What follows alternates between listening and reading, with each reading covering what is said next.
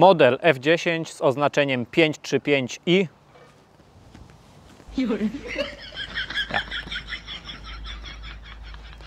Model F10, nie, to jest generacja. Na naszym kanale YouTube jest już ponad 200 realizacji montażu instalacji gazowej, jednak po raz pierwszy pokażemy Wam samochód marki BMW po montażu instalacji gazowej, a obok mnie znajduje się BMW Serii 5 z roku 2013. Zaczynamy!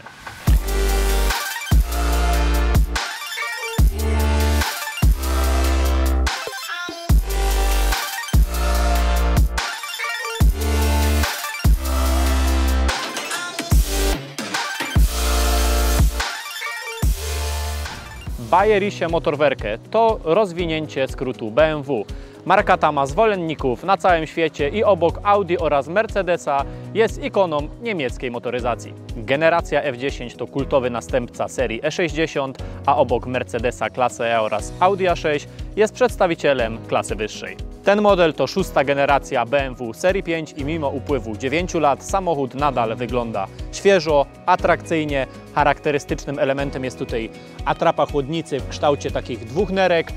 BMW z biegiem czasu powiększa atrapy chłodnicy. Na internecie można znaleźć wiele memów, które w humorystyczny sposób pokazują samochody właśnie tej marki z powiększoną atrapą chłodnicy. W tym miejscu teraz pokażę Wam się właśnie taki mem.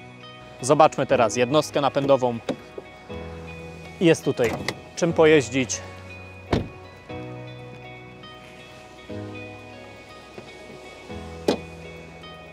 Klapa na siłownikach, jak to na samochód premium przystało. Sześciocylindrowa jednostka z podwójnym turbodoładowaniem o pojemności 3 litrów generuje moc 306 koni mechanicznych. Jest to silnik oczywiście z bezpośrednim wtryskiem benzyny, zatem bardzo skomplikowana realizacja. Z podzespołów instalacji, jakie możemy wymienić, to w zasadzie elektrozawór, a reszta komponentów jest poukrywana, aby wszystko wyglądało jak oryginał. Przejdziemy teraz do wlewu.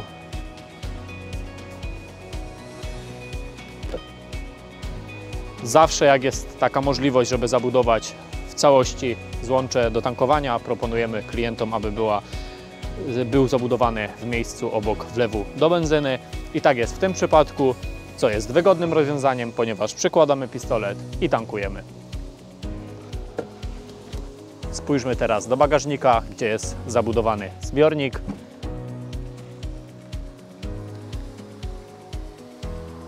Tutaj klient będzie miał do dyspozycji zbiornik cylindryczny o całkowitej pojemności 80 litrów, jednak ze względu na 80% stopień napełnienia zatankujemy do niego 64 litry gazu, zatem całkiem sporo.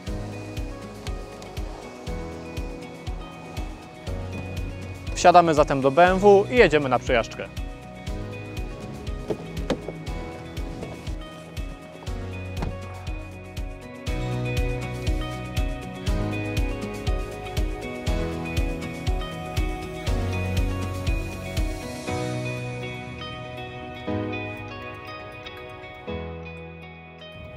Mimo upływu 9 lat samochód jest bardzo dobrze utrzymany.